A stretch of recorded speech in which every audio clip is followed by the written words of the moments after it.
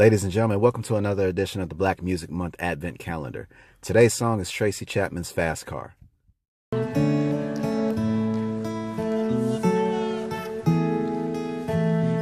a fast car. I got a plan to get us out of here. Been working at the convenience store. Managed to save just a little bit of money. Won't have to drive too far. Just cross the border. Released in 1988 in April, this was the lead single in Tracy Chapman's self titled debut album. It tells the story of a woman finding her way out of poverty, which offers a unique perspective as far as a black female on acoustic guitar when normally folk rock is sung by white people. Let's be honest here.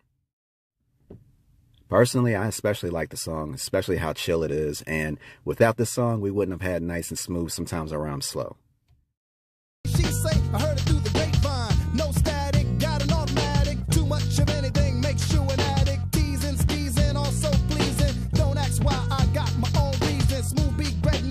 nick, click. Sometimes I rhyme slow, sometimes I rhyme quick. Quick, quick, quick. Sometimes I rhyme slow, sometimes I rhyme quick.